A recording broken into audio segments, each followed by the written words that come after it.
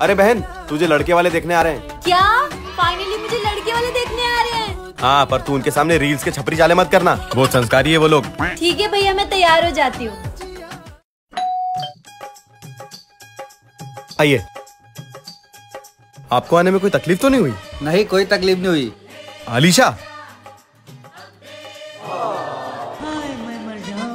तो बताइए सर आपकी शादी के लिए क्या डिमांड है? देखिए हमारी कोई खास डिमांड तो नहीं है। आप बस इतना बता दीजिए कि आपकी बहन आजकल की लड़कियों की तरह रील्स पे छपरी चाले तो नहीं करती है? अरे सर ये तो फ़ोन भी नहीं चलाती है। इसको तो सिर्फ़ पढ़ने का शौक है। अरे पापा मुझे ये लड़की बहुत पसंद है। रुक जा पहले मुझे मेरी तसल्ली कर लेने दे। Hey play Jamal Kudu song.